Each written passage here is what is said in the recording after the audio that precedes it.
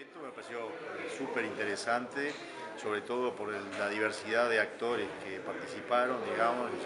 gubernamentales, industria, academia, y, creo que eso lo que enriquece, digamos, es la transmisión de las distintas experiencias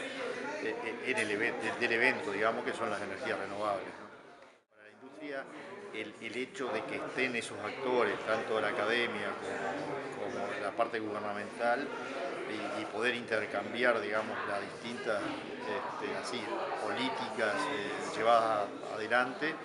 este, obviamente que dan eh, una base de sustento futuro para pensar en nuevos proyectos y, bueno, y los, nuevos planes de expansión o crecimiento de las empresas.